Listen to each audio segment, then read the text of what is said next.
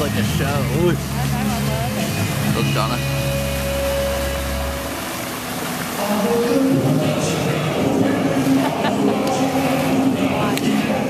I can see why they call this the island. It's got some tropical themed stuff, like margarita.